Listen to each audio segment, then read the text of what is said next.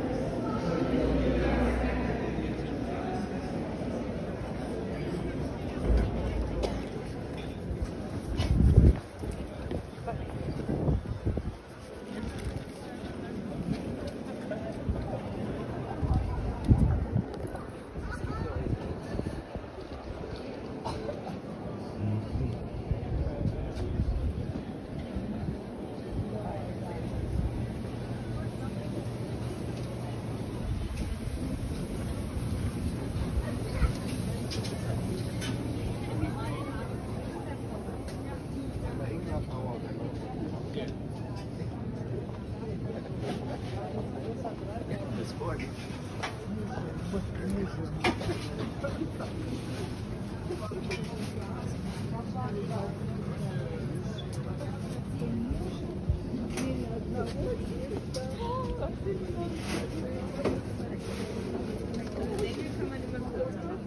bin hier auch gerade am Kürzen. Weil das ist immer so, das kürzer macht.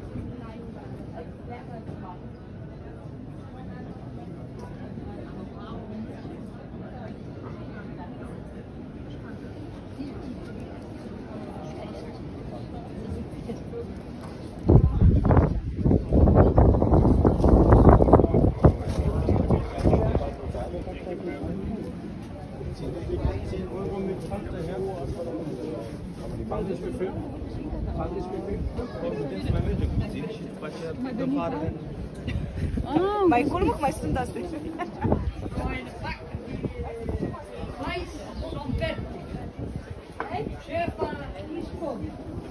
Hay, hay algunos que son chiquititos que con cualquier vez se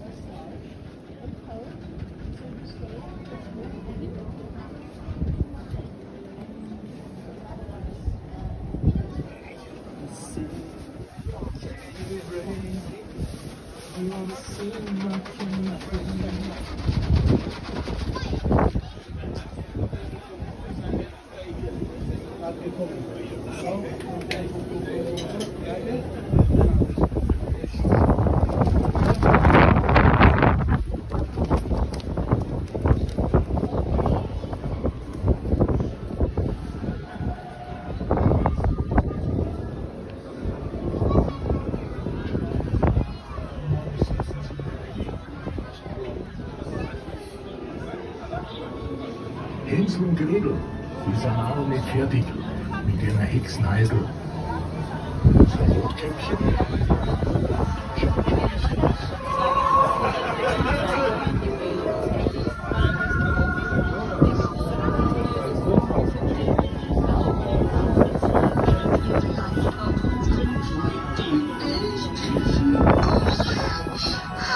Ich freue mich ja wirklich schon so sehr.